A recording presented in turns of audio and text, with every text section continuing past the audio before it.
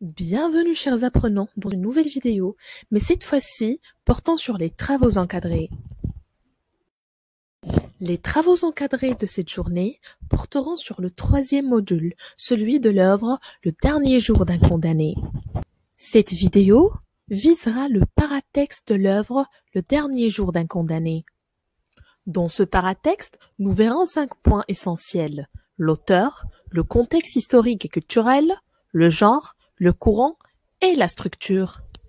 Victor Hugo est né en 1802 à Besançon et décédé en 1885 à Paris. Après la séparation de ses parents, il s'est installé avec sa mère dans la capitale française où il a poursuivi ses études. Il a choisi d'être homme de lettres comme Chateaubriand. Il devient très tôt chef du mouvement romantique grâce à son don artistique et à l'expression précise des sentiments humains. Le contexte historique et culturel. Sur le plan social, la bourgeoisie a pris le pouvoir et a écrasé la classe ouvrière en profitant de la révolution de ces dernières contre l'aristocratie.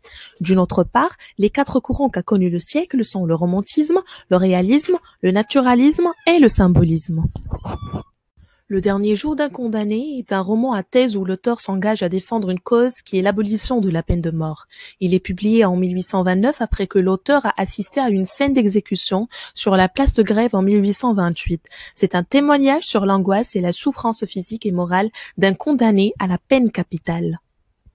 Le romantisme est un courant littéraire qui a dominé toute la première moitié du XIXe siècle. Il traite des sujets et des thèmes ayant un rapport avec le cœur, les émotions, les souffrances, le moi, le passé, les rêves, l'amour, la nature, la joie, la nostalgie, le mal du siècle, les sentiments, l'enfance, etc.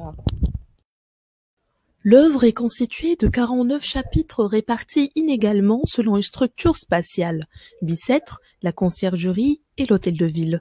Elle est écrite à la première personne sous forme de journal des souffrances.